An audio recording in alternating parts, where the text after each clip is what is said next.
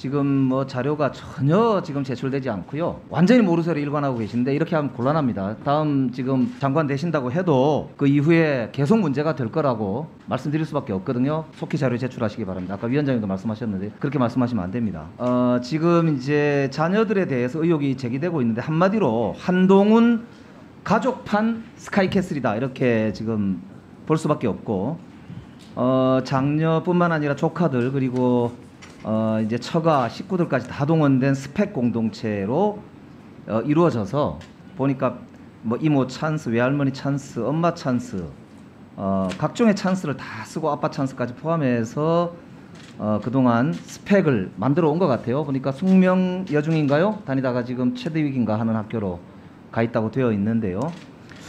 그 중에 제가 한번 어, 저기 보시면 따, 아니 앞에 따님하고 저 이종 사촌 두 분 저 중에 이제 유펜이라는 학교에 저 진학을 했다고 하는데요.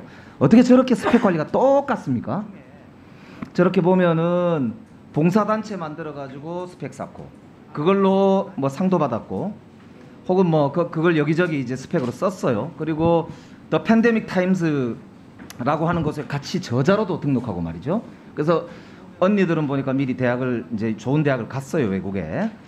어 그리고 이제 공저도 똑같아요. 방글라데시 대학원생하고 공저도 하고 어 언니들은 보니까 뭐 이렇게 외숙모 찬스로 의대 교수인 외숙모하고 공저도 했고요.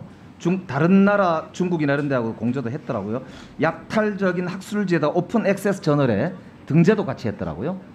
근데 후보자가 답변을 한 거 보니까 open access 저널에 등재한 거는 논문이 아니다 그러시는데 저널에 등재하면은 그거는 논문입니다. 그게 일반적인 학자들 오늘 서울대학교 교수를 비롯해서 여러 교수들이 말씀하셨던데 그렇게 말장난하면 안 됩니다.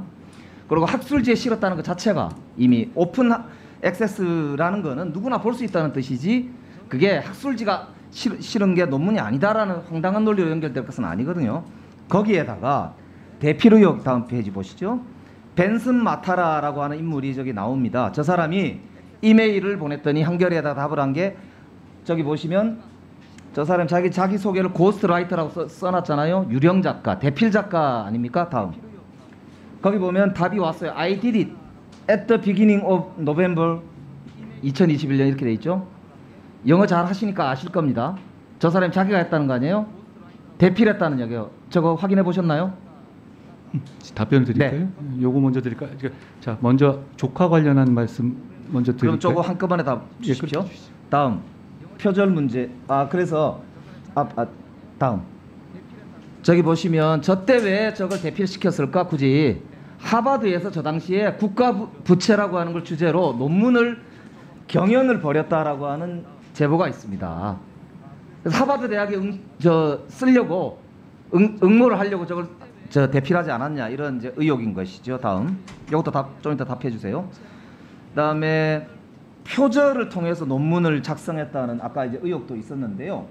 저 표절 한 걸 보니까 이게 이제 표절을 판별하는 여러 프로그램이 있는데 그 중에서도 뉴스타파 보도에 의하면 카필리크스라고 하는 데서 한거 보니까 유사도가 55.5%에 이른다고 합니다. 반 이상을 뺏긴 거예요. 저, 저 인터넷에 떠도는 거를 긁어가지고 그냥 한 것이죠. 그거를 저널에 이제 실은, 실어서 어, 문제가 되고 있, 있고 그러다 보니까 증거를 없애기 위해서 막 삭제도 하고 한 것으로 이제 지금 보이는데 어, 그 이제 IEEE라고 하는 IEEE라고 부르는 여기 이제 권위 있는 학- 이 학술 단체에서 학회에서는 표절에 대해서 매우 엄격하게 어, 관리를 하는데 그 중에 사과문도 제출해야 되고 본인이 안 하면 위반 공지도 하게 되어 있거든요. 그러니까 이런 이제 어, 문제가 지금 의혹으로 제기가 되고 있는데 여기에 대해서도 답변을 어, 주셔야 될 것 같습니다. 그 다음에 봉사활동 관련해서 확인할 게 있는데요. 지금 따님이 여러 군데서 수상을 하시면서 2만 시간 봉사활동을 했다고 돼 있어요. 근데 2만 시간이면 하루에 10시간 잡고 2천일 아닙니까? 2천일이면은 거의 5년이 넘습니다.